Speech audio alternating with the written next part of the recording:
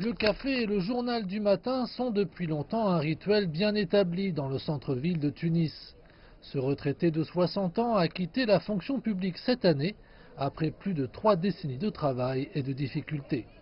Le secrétaire général du syndicat des retraités se dirige vers la place Mohamed Ali, près du siège du syndicat pour participer à la grève générale des employés de la fonction publique.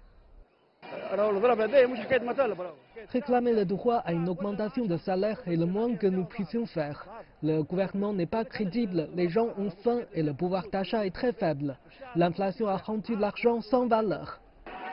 Les grévistes ont scandé des slogans anti-gouvernementaux dénonçant ce qu'ils ont décrit comme la pire crise socio-économique de l'histoire tunisienne.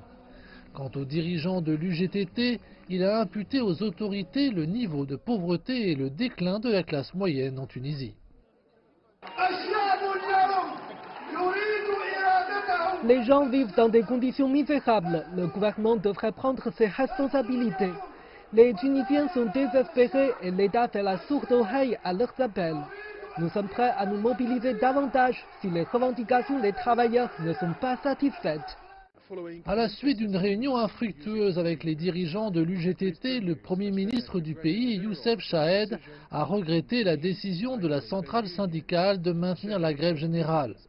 Il a déclaré que les revendications des manifestants étaient légitimes, mais que l'État n'avait pas les ressources nécessaires pour financer des hausses de salaire supplémentaires en 2019.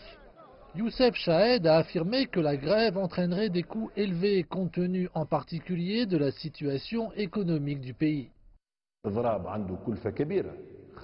Le gouvernement accepte que les fonctionnaires aient un revenu correct, étant donné qu'ils représentent une part importante de l'économie du pays. Nous comptons sur eux pour le développement. Nous veillons également à ce que les retraités aient des pensions respectables après avoir consacré leur vie à servir la nation et à améliorer le niveau des pauvres, des chômeurs et des personnes dont les salaires sont instables.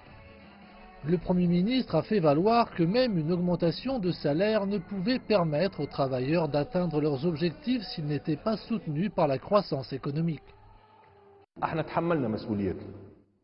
Toutes les augmentations accordées après la révolution de 2011 en l'absence de croissance réelle n'ont pas eu d'impact sur les citoyens, mais ont au contraire conduit à l'inflation, au surendettement, à la dégradation du pouvoir d'achat des citoyens, sans oublier leurs répercussions sur le taux d'intérêt dans le secteur bancaire.